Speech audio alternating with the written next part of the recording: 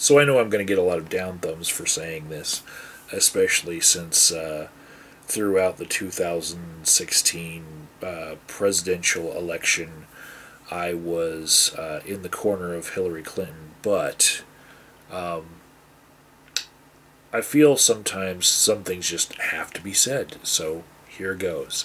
Uh, this is a response to Steve Shives and Jenny McDermott and everyone else who says, uh, like the Change.org petition once, that Hillary Clinton won the popular vote, and therefore the Electoral College should take that in, into consideration when they convene in December, and they should make Hillary Clinton president instead of Donald Trump, who won the majority of states based on how the Electoral College is uh, laid out.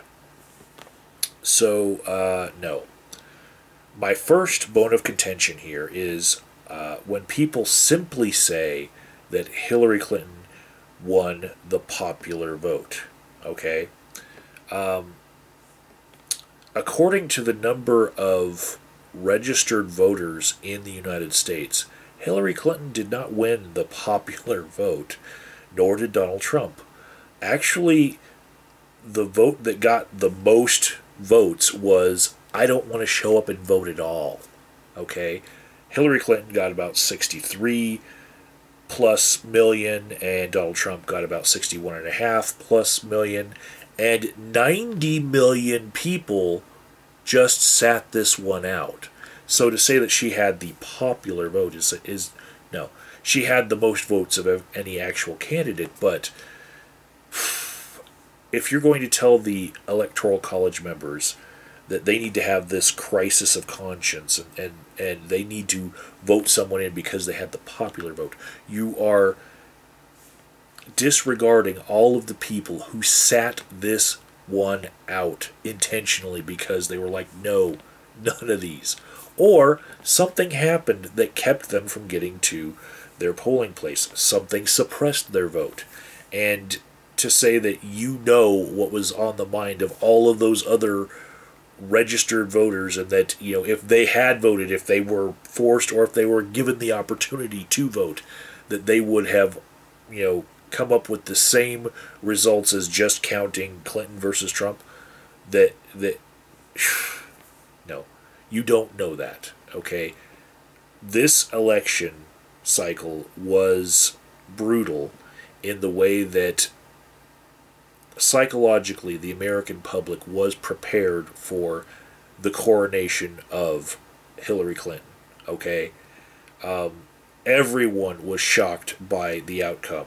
Even Donald fucking Trump was shocked by the outcome. You can see it on his fucking face every time he makes a public appearance right now. He's like, holy shit, this is actually happening.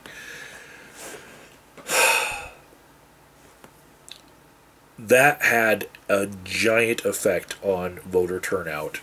Um, the the the reason why uh, Hillary didn't win in all of the states that, that Trump won was because she didn't get the same turnout that Barack Obama did. And why? Maybe it was because the media had, you know, suppressed all of those people by making them think that she had this in the bag and you know, if this is going to affect their ability to earn tips for that night, maybe they shouldn't uh, leave work for an hour or two to go stand in a line because, you know, they're not going to make a difference, you know.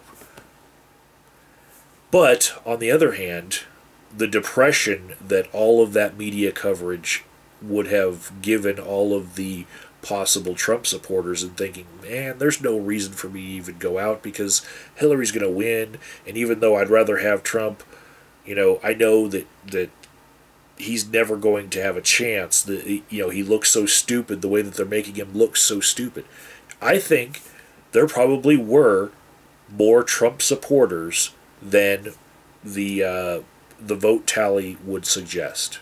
Okay, and now that we're in this phase of electing our president, I think that every electoral college member has to keep in the back of their mind can we actually even trust voter turnout from other states? See, they have to represent their own state, right?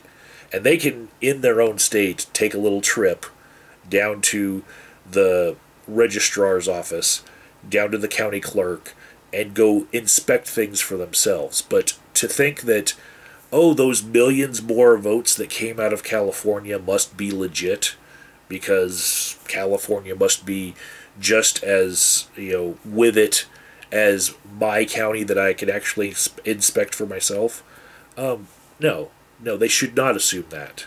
Okay, there could be piling on of votes from uh, disreputable uh, county clerks and registrars as we speak right now, trying to make it look even worse for Donald Trump because just politically it looks good that you know for the Democrats that he didn't get the popular vote.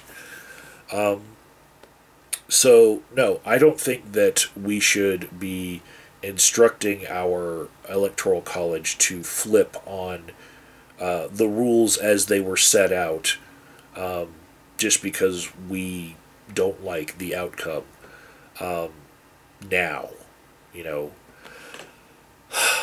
But let me tell you about the, the odds of this happening anyway, because I've I've counted it up for myself. Um, in the history of the United States, having these uh, elections with this electoral college. Only 157 electors in all of those presidential elections every four freaking years. Only 157 of them have ever ever been a faithless elector that flipped on what the people of their uh, constituency wanted.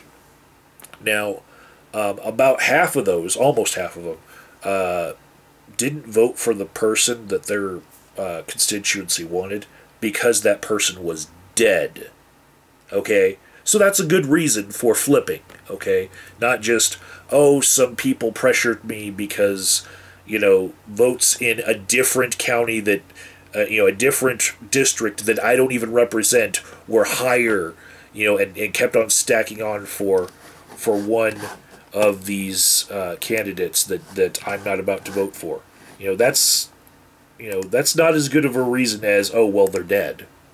You know, if they're dead, then yeah, you should. that's the whole reason why we have this electoral college because something catastrophic could happen, right? But uh, three times, the electors actually refused to vote altogether, and I think that actually is more appropriate, considering that the actual popular vote is none of the fucking above maybe some electors should should refuse to vote all altogether. Three of them in history have, and we do have the two least popular candidates fucking ever that were the nominees for the two major parties in our country. Um, but the, that all being said, faithless electors have never actually been able to change the outcome of a, an election. And this would be if uh, Steve Shives and, and Jenny McDermott and Change.org, uh, slacktivist, armchair fucking keyboard commandos had their fucking way. This would be the first fucking time ever that, that, that this has happened, right? And I can't tell you how much I think that that would be destabilizing to our fucking country. Um, yeah. In uh, 1836 was the closest that we ever had this actually happened.